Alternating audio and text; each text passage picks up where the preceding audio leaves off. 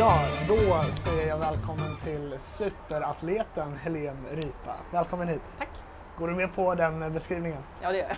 Ja. Du eh, har nu gjort ditt tredje Paralympics och kom femma i kanottävlingarna. Hur ser du på din insats?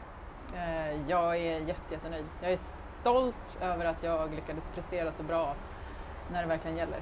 Det här är ju ett mål som jag har haft ja, ända sedan jag kvalade, att få försöka få till ett riktigt, riktigt bra lopp. Och så fick jag allting att stämma när jag behövde det som mest, så att jag är jätte, jätteglad. Du eh, har ju varit med två gånger tidigare, dels i sommarspelen i Barcelona, då var det simning, och nu senast i vinterspelen i Sochi där du tog guld i längdskidor.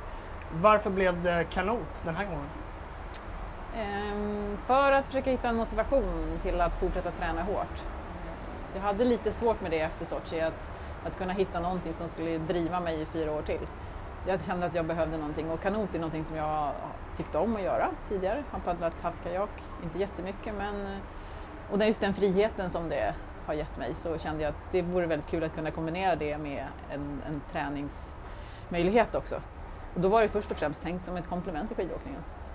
Men det var så kul och jag fick jättemycket pepp och stöd från Kanotförbundet och jag var även på en sån här prova på parakanotdag som, som Kanotförbundet hade.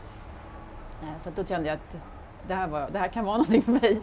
Eh, Så då tänkte jag, ja men jag gör ett försök att, eh, att kvala till Paralympics. Och då var det här någon gång i september.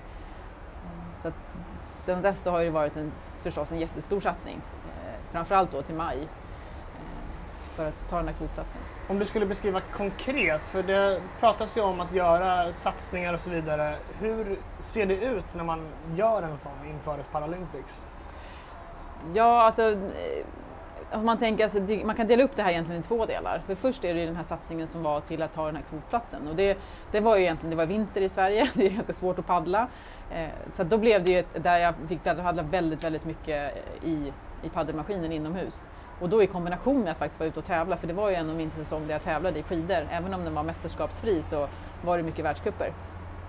Så att där blev det också att jag liksom på något sätt försökte kombinera de två på bästa sätt. Och sen också att, att tidigt redan i våras komma iväg till, till Portugal och komma, eh, komma på vatten så tidigt som möjligt. Eh, och sen då att när jag väl tog den där kvotplatsen på VM i maj fram till i, idag så har det ju varit liksom en helt annan resa. Där har det någonstans varit att försöka bli så bra som möjligt på så kort tid som möjligt. Och det har ju varit väldigt intensivt. Jag har ju varit jätteberoende av att kunna hitta rätt personer som har kunnat hjälpa mig vid sidan om och få det här att fungera. Mm. Hur skulle du säga att eh, de möjligheterna ser ut i Sverige att satsa på elitnivå i kanot i det här fallet? Jag måste säga att jag har ju fått fruktansvärt bra hjälp, både från Kanotförbundet och från Parasportförbundet.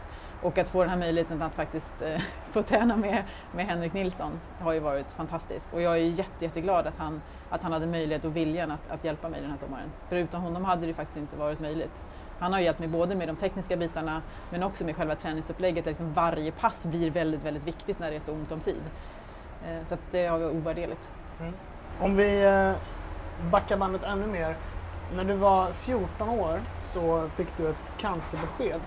Kan du berätta om hur det förändrade ditt liv?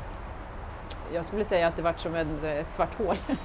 Eh, att från ena dagen varit en helt vanlig tjej så helt plötsligt så ska jag liksom försöka förstå att någonting aldrig kommer vara så likt igen. Eh, det var ju förstås jättetufft. Jag var 15 år gammal eller 14. Det var någonstans där i perioden när man inte vill att sånt här ska hända. Man vill ju förstås vara som alla andra. Det var jättetufft.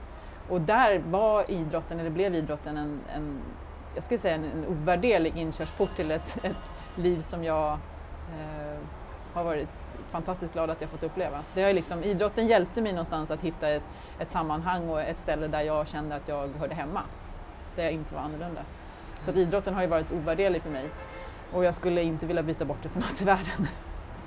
Men var idrotten en del av ditt liv även innan eh, du amputerade benet eller var det Nej. något som kom in efteråt? Det skulle jag faktiskt inte säga. Jag, jag tyckte att idrott var roligt och jag höll på eh, som vanligt med skolidrott och så. Jag spelade badminton kanske någon gång i veckan så därför att jag tyckte det var kul. Och, men absolut ingen liksom, tanke på att börja träna idrott för att tävla. Det fanns inte. Så att, eh, det var först efteråt. Och egentligen var det inte så att, att idrotten eller simningen blev redan från början någonting att nu ska jag liksom tävla utan det var mer en rehab som blev rolig. Det var också det var så att jag fick alla mina mina kamrater där.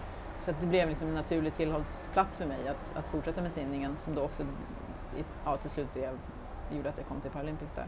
Mm. Tror du att det är olika enkelt så att säga att börja eller söka sig till parasport beroende på om man har ett medfött funktionshinder eller inte? Eh, en bra fråga. Jag vet faktiskt inte. Jag tror att det viktiga är vad man har för personer i sin omgivning också, vilka personer man kommer i kontakt med. Eh, I mitt fall så, så, hade jag ju fördelen att ha en sjukgymnast som tyckte att okej okay, den här tjejen behöver någonting annat än, än, än det liv hon lever nu. Hon behöver liksom komma i kontakt med andra personer som kan, eh, där hon kan känna att hon liksom hör, hör ihop med. Eh, jag vet faktiskt inte. Jag skulle vilja veta svaret på den frågan faktiskt. Eh, det är svårt också det här med att att ibland så vill man ju gärna liksom presentera idrotter eller liksom visa vad det är som går att göra men det är svårt att hitta kanaler för det.